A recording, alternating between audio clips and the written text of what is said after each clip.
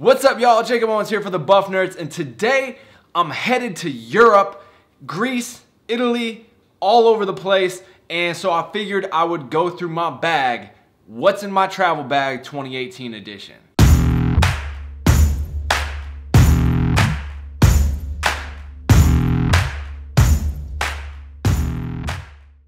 So as I just said, I'm headed to Europe today. It's about to be crazy. I'm headed over there with my girlfriend, Futuristic, and uh, a couple other friends. And basically we're just gonna go all over Greece. We're taking a Greek island cruise, going all over Italy, hitting up like seven different cities. So it's about to be a crazy fun adventure. And I, of course, I cannot go over there without bringing all my camera gear. So today I'm gonna run through 2018 edition, what I have in my camera bag, and what are my essential tools to take on a trip like this. The Big Daddy, my Red Dragon. Can't go anywhere without my Red Dragon. I take it everywhere now when I travel on trips. I used to take my 1DX, but ever since I started taking my Red, I now take my Red and I take the Canon 6D Mark II, which is what I'm filming this video with. I use the Canon 6D Mark II because it's solid with video and photos and I just needed something smaller, lighter, compact that I could take photos with because I'm mainly shooting all video on this guy right here. 6K Red Dragon, this will be the A camera of the whole trip. I will have it built out with my Canon lenses, which I'll show you in a second top handle, kind of some other accessories, but this will be my main camera for shooting. So like I said, I also have the 6D, which I'm gonna use for photos and maybe some vlog style stuff. I don't like to vlog, but I may shoot or do one kind of big trip vlog. I have the 6D, again, for all photos. Love the camera, super small, versatile, lightweight, flip out screen, holds a lot of memory, battery charge really well. Um, I really like that camera for on the go stuff. Next, the GoPro. Uh, you always, always have to have a GoPro on any trip you go, especially where there's water. This is the GoPro Hero 6. So I'm gonna be taking this with this little handheld rig. I brought a little head mount as well uh, for when I'm like snorkeling or just kind of going around to get a first person point of view as I go through Rome, Greece, uh, all the different cities in Italy. So I'll be using kind of a head mount, this hand mount, GoPro 6, Gotta always have a GoPro when you travel. All right, so now that we talked cameras, let's get into lenses. Then after that, memory, because those are the two biggest important things on a trip, lenses and memory, as opposed to your camera. I mean, obviously your camera is super important too. Like you need a camera to shoot stuff, but you also need lenses and you need memory to store it. Lenses, first up, one of my favorites, the Canon 70 to 200 f2.8. This thing is a beast. Um, the image stabilization on it is amazing and that's super crucial, especially when you're dealing with a camera like the Red where there is no in-body camera stabilization like a Sony a7S or some cameras like that. You need lenses to uh, that kind of have some image stabilization to help out, especially when you're traveling on the go a lot. So this is my big zoom lens. I take this thing everywhere. Um, this is my favorite zoom lens I've used to date and uh, it's held up for like four or five years now. After that is actually the lens that's being used on this camera right now, which is my favorite lens and pretty much the lens that stays on the camera the entire time. That is the 24 to 105 f4 Canon L series lens. My favorite lens because it's so versatile. You can go wide at 24, you can zoom in to 105. It's got image stabilization. It's just a really solid on the go lens so you're not always having to switch on and out. The last trip I took to Hawaii, it was literally the only lens I used. Uh, one for just portability and not having to bring a bunch of lenses, but it's just super versatile. I could go wide and then two seconds later be punched in, zoom in, zoomed in without having to switch and swap lenses. So it just makes on the go travel filmmaking or just traveling in general super easy and you don't waste a lot of time or potentially miss a shot. Next, the Canon 16 to 35. This is my favorite wide angle lens. This is the f4 with image stabilization as well. Again, all the lenses I have have image stabilization.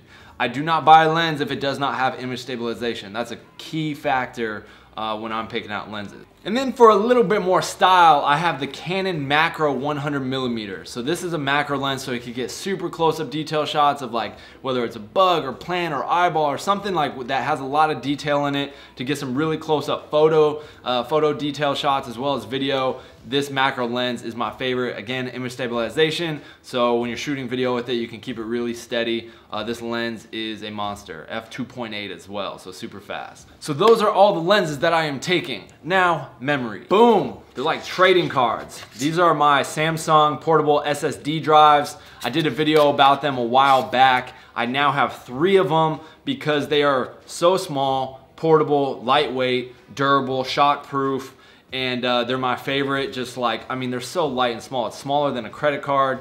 You can fit all of these into a very small pocket or your pocket as you go. When you compare it to a drive like this, you know, this is a four terabyte Western Digital drive.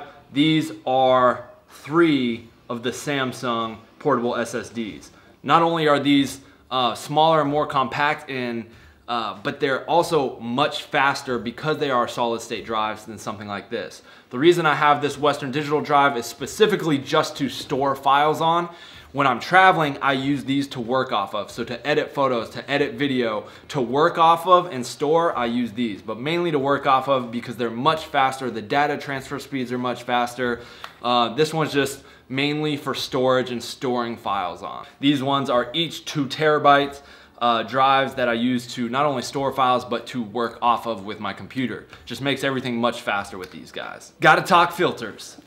So this is like my little filter pack here. I have various Tiffen filters as well as one Polar Pro variable uh, ND filter as well. This is pretty much lives on all of my lenses. It's super important to have a polarizer and an ND. Uh, so this one from Polar Pro is super crucial. And uh, then in here we have some more NDs, some Pro Mist filters. I've made videos about Pro Mist filters in the past and how they can soften your highlights and kind of like bloom them out, give them a, a, more filmic look and be less digital. A lot of cameras today are super digital. So Pro Mist filters right here are a great way. You can kind of see it there how it blooms out the highlights. It softens the video, gives it a more filmic look, not so digitized. Batteries, HyperCore batteries for my Red, just the Canon LP E6 batteries for uh, my Canon DSLR. Dual power charger for the Canon batteries. Comes with a little USB thing in the back you can pull out, or you can also attach um, a micro USB here, plug it in the wall, charge two batteries at the same time. While we're on the topic of batteries, I got some portable batteries right here that are power banks meant for charging your gear. So I have this smaller one that's more the shape and size of a credit card uh, that I'll use for super on the go, kind of in my pocket, maybe take it out on a day trip uh, where I charge. I can charge cell phones, GoPro stuff off of it. Uh, you can see the little battery, see that right there, full charge. So this I can slip in my pocket and just really have it uh, on the go and it'll be nice and uh, you know portable. Then I have this bigger Mophie power bank here. Again, this one's really nice. I love. It's very slim, th um, thin. It's got the iPhone actually plug right built into it, USB and micro USB as well. So this one's super durable um, and got some unique plugs attached, especially this iPhone uh, cable. That's super clutch because I have an iPhone and now you don't have to have an iPhone cord with you. You just take this and it's got it built in.